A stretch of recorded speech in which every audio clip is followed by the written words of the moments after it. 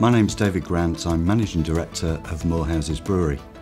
Moorhouses has been established for uh, over 145 years now um, as um, a drinks manufacturer.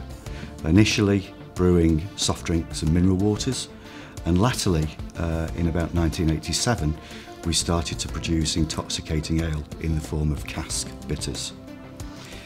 The company has had many owners over the years, the Moorhouse family sold uh, in 1972 and our current owner bought the business in 1987 and has invested very heavily in the property to ensure that we are a leading cask ale brewery for the future. The brewing process of producing cask ale is uh, is, is very, very traditional. In fact, it's quite ancient and all the processes we use here we have done since the day we started brewing.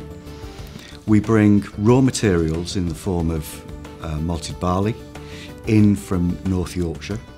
We bring our hops in from Hereford usually, or sometimes from Kent. Our water comes from the Lake District.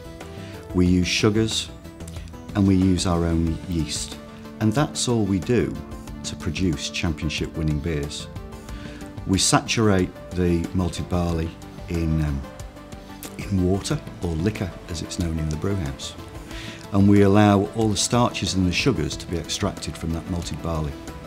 We then boil that liquid, which is called wort, and add hops and sugar at that stage to produce a hopped wort.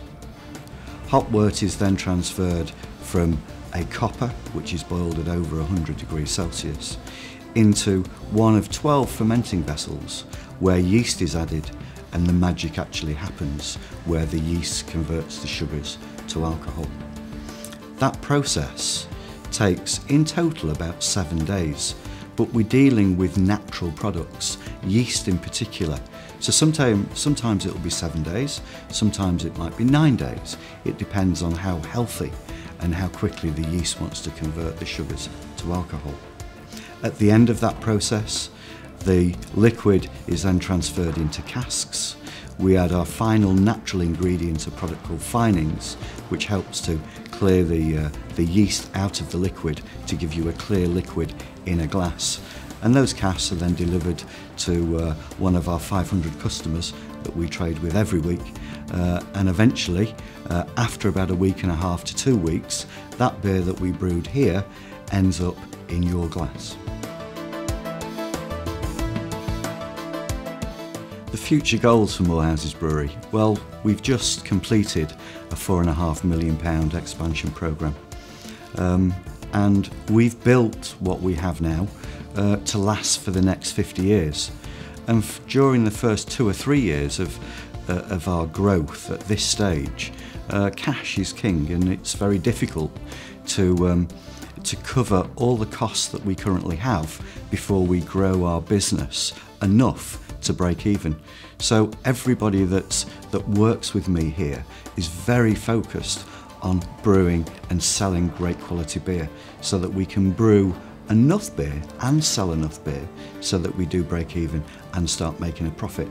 We're very much online with our budgets and everybody, our investors, the board of directors are very happy with the way things are going but we are very focused currently on selling products, not only cask ale but we've also put product into bottle and we've just got listings with Asda, Tesco, shortly with Sainsbury's, and that will give us about 20% of our volume as we move forward. So we've built the business for the next 50 years. It's going to be difficult for the next two or three, most definitely.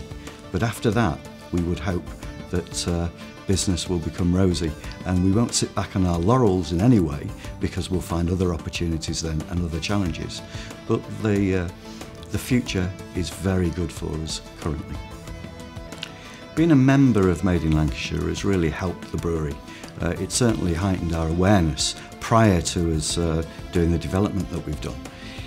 It also means we've got support whenever we need it from an organisation that knows what they're talking about and that is really needed at times. It also gives us an opportunity to meet with consumers, something that we don't do that often.